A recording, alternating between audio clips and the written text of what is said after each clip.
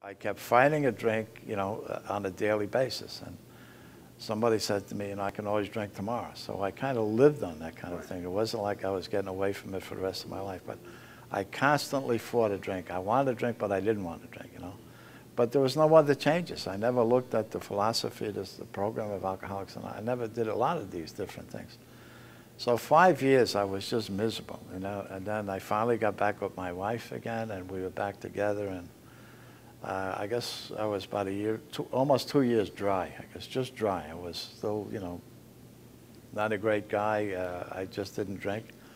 And then my wife took a stroke, and she was in a hospital for about six months, and she was completely paralyzed. And uh, you know, make a long story short, she passed away. Uh, you know, and uh, when she passed away, I started planning a drunk. I was going to get drunk to, when I left the cemetery. You know, after the funeral my mother-in-law said to me, uh, you know, if you're going to drink, she says, go over and piss on the grave first.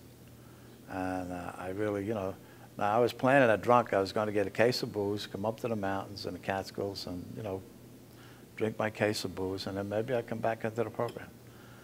So, but I didn't do that. I, you know, somehow or other, when she told me that, I went and I started to get some help. And then uh, my sponsor, my AA sponsor says to me, you know, he told me what an SOB I was. He told me that if he knew what he knew about me after he met me, he wouldn't have picked me up even.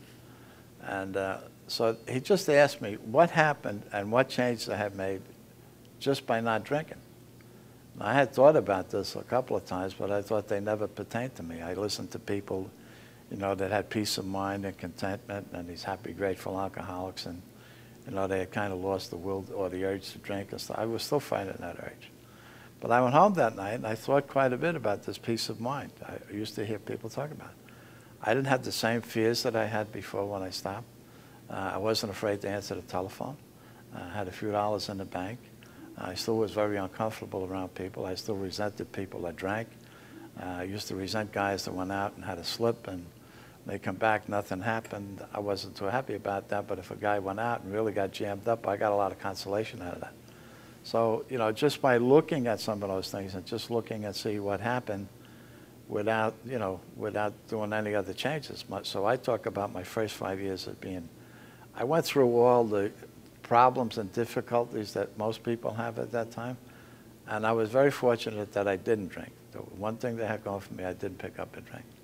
So finally, I started to look at this AA way of life that they talked about. I started looking at the 12 steps, and I said, you know, there has to be something more to this sobriety than what I'm getting because I'm not, I'm not happy. I'm not, you know, I'm still very tense. I'm still very angry about a lot of things.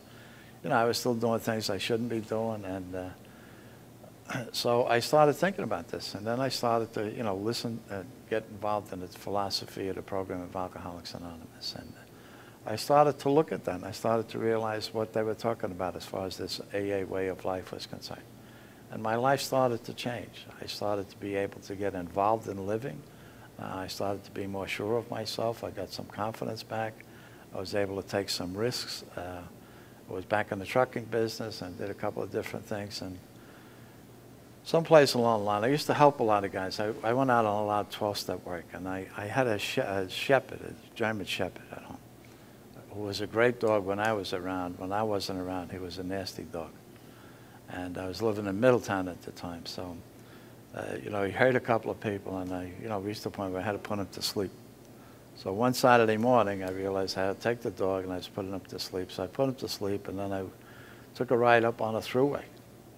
And uh, I was praying for some direction with my life. I didn't know which way that was going to go, and I wound up uh, up in uh, or, near Amsterdam, New York, and I was in a coffee shop having a cup of coffee, and I got to talking to this guy at the fountain. And I guess he looked and saw that I was troubled or something like that. But he asked me if I ever heard of Auriesville, this place of the North American martyrs. And uh, I told him I'd never heard about it. He said, well, it's only a few miles away. Said, you ought to go up there and just pay it a visit. I remember going up there and I started to pray for some direction with my life. I said that, you know, if I could, if God had a plan for me, I, want, I don't know how that was going to happen, but I wanted to do more with my life than what I was doing. And after I was there, you know, after I left there, uh, about, you know, maybe a couple of weeks later, I got an opportunity to open up a place that had been closed down, you know, my first treatment center. I didn't know what I was doing. I was, you know, I was used to dealing with people that were sober in the program and people that were looking for help.